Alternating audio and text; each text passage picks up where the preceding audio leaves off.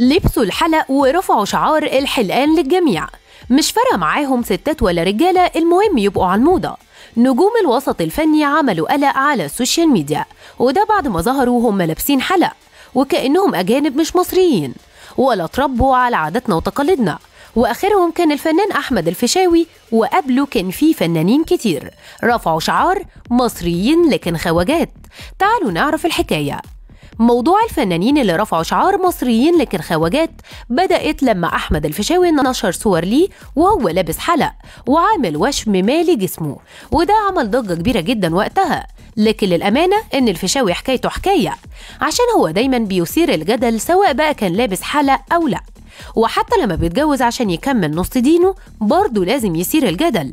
بس الغريب بقى إن موضوع الحلق ده كان من أكتر الحاجات اللي خلت الجمهور تهاجمه. يعني حتى ما فرقش معاهم جسمه اللي مليان تاتوهات بس لأ إزاي يلبس حلق. والأغرب من كده إن الفيشاوي كان طلع واتكلم عن سر حبه للحاجات الغريبة وإنه ليه لابس حلق أصلا؟ وقال إن الحلق ده ألماظ مش أي حاجة يعني وكأنه بيضايق الناس أكتر. أما بقى اللي كان مفاجأة كبيرة للجمهور ومحدش كان مصدق إنه يلبس حلق ويعمل زي الخواجات هو الهضبة عمرو دياب. واللي ظهر وهو لابس حلق أكتر من مرة.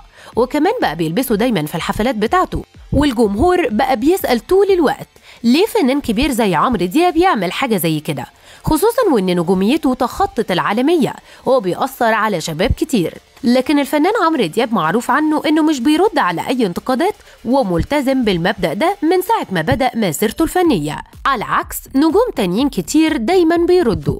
طبعا وسط الكلام عن النجوم اللي رفعوا شعار فنانين لكن خواجات ما نقدرش طبعا ننسى ملك الروقان السيناريست تامر حبيب. واللي معروف عنه إنه ما بيعترفش بالعادات ولا بالتقاليد واللي معروف عنه إنه بيحب الروقان والحفلات والجو الحلو ده. وكمان بيحب الرقص دايما مع الفنانات خصوصا الفنانة منى شلبي واللي بتربطهم علاقة صداقة قوية جدا. الحقيقة إن تامر ليه شعبية كبيرة وناس كتير بتحبه جدا لكن برضه هو بيتعرض لهجوم كبير وده بعد ظهوره أكتر من مرة وهو لابس حلق وكمان طلع في أكتر من لقاء تلفزيوني وهو لابسه ومش فارق معاه ده تأثيره إيه على الشباب ولا على تفكيرهم. وقتها طلع تامر ورد على الناس اللي بتنتقده وقال والله كل واحد حر ويعمل اللي هو عايزه وربنا يشفي الجميع.